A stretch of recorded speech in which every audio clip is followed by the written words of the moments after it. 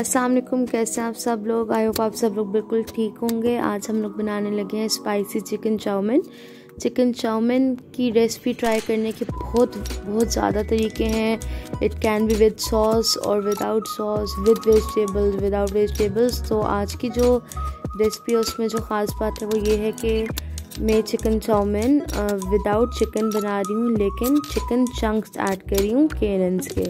तो आइए अब हम इस रेसिपी को शुरू करते हैं।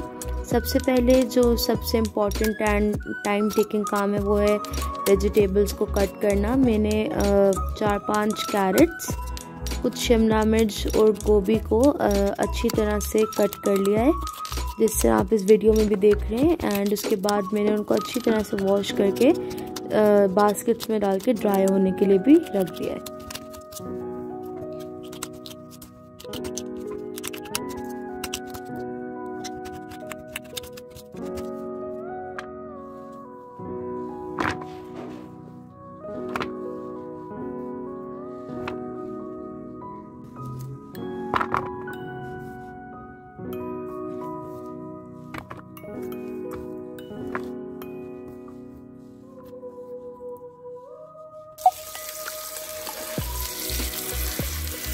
जब आपकी वेजिटेबल्स तैयार हो जाएँ तो एक खुली कढ़ाई में तकरीबन चार से पाँच चम्मच ऑयल लेके, उसमें सबसे पहले गाजरों को अच्छी तरह से रोस्ट करें। जब तक कि गाजरें नरम नहीं हो जाती।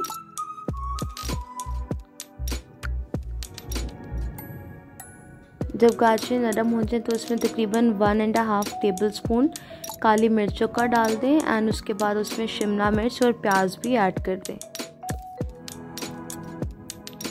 इसको आप अच्छी तरह से भून लें जब तक कि सारी सब्ज़ी मिक्स हो रही है। उसके बाद इसमें तकरीबन एक चम्मच नमक का ऐड कर दें और इसको दो तीन मिनट चूल्हे पर पकने दें। जब ये दो तीन मिनट पक जाए तो इसमें आप तकरीबन दो टेबल स्पून सिरके के ऐड कर दें। एंड यहाँ पर मैं केनल्स के चिकन चंक्स यूज़ कर रही हूँ हाफ़ पैकेट वो मैंने इसके अंदर डाल दी है। अब मैं इसको तीन चार मिनट अच्छी तरह से मिक्स करके भून लूँगी।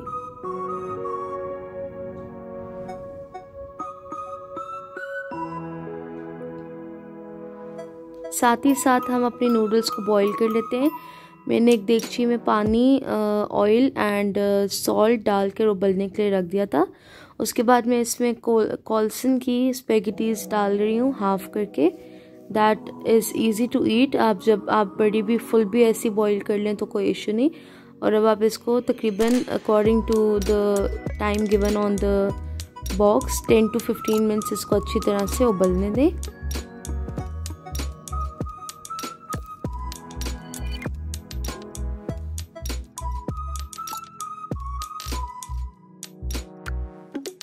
यहाँ पर हमारा पास्ता बॉईल हो चुका है। अब हम अपने जो इसमें मसाला है, उसमें स्पाइसेस ऐड करने। मैं Islamabad metro cash and carry से अपने स्पाइसेस लाई हूँ, जो कि है जिंजर एंड गार्लिक पाउडर मैं इसमें वन टीस्पून दोनों का इसमें ऐड कर रही हूँ एंड उसको अच्छी तरह से फिर भून लूँगी।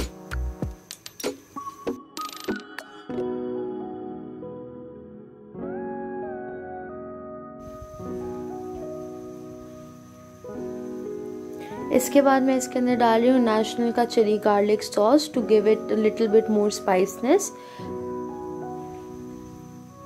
and उसके बाद मैं इसको लो फ्लेम पे तकरीबन तीन से चार मिनट के लिए पकाऊँगी पास्ता वाटर ऐड करके। मैंने इसमें तकरीबन one tablespoon of pasta water add किया है।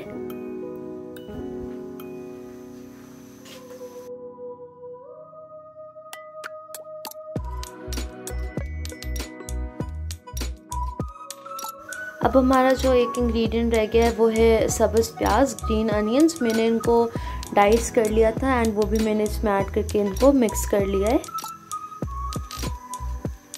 यहाँ पर हमारा पास्ता बिल्कुल तैयार हो चुका है। अब हम इसमें ऑरेंज फ़ूड कलर ऐड करेंगे one teaspoon to give it that yellow chowmein look and उसके बाद हम इसको एक दो मिनट के लिए पकाएँगे एंड फिर स्टेन कर लेंगे।